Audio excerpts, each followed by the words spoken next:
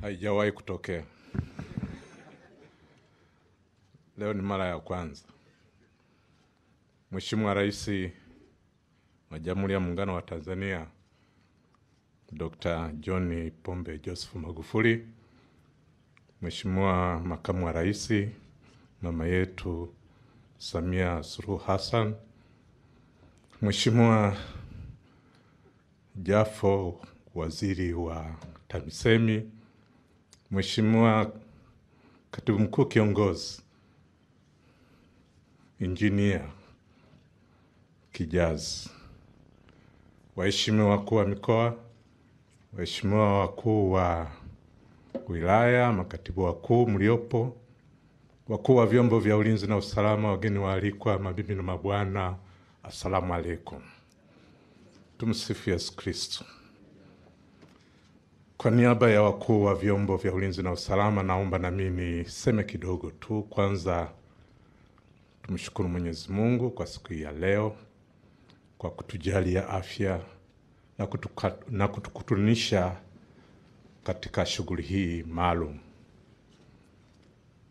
Mimi kwa niaba ya wenzangu niwapongeze tu wateuliwa wa leo ambao wameapishwa rasmi kwenda kushika madaraka yao. Ni dhamana kubwa tunayokabidhiwa leo na ambayo tayari wengine tunayo. Lengo kubwa ni kwenda kuwatumikia wananchi,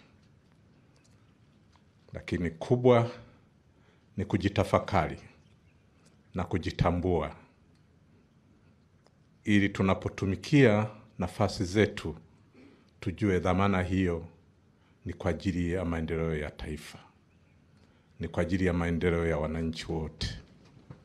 Hivyo ni muhimu sana kuzingatia hizi nafasi. Namshukuru Mheshimiwa mkuu wa mkoa wa Mbeya amezungumza mambo mazito ya kujitafakari. Alijitafakari, alikuwa amefikiria kwenda kwenye nafasi nyingine, lakini inawezekana mwongozo wa Mheshimiwa Rais ulimfanya abadilishe gia kama alivyosema yeye mwenyewe. Lakini wengine sisi huwa tunataniwa, nilitaniwa mimi na IGP kwamba tulikuwa tunafikiria kwenda kutangaza nia, lakini hatukuwa hivyo. Lakini inawezekana alikuwa anawasema watu kwa namna ya kipekee. Mheshimiwa Rais, tunakushukuru sana kwa mjibu wa taratibu zetu. Uh, kwanza nilitakiwa niache kazi kwanza ili kwenda kuombania. Sasa Mheshimiwa Rais, waliokuwa tangaza nia na wao umeambua umewaelekeza kwamba waache kwanza hizo kazi walizo nazo, basi wakaende kutangaza hizo nia, na ndivyo navyofanya.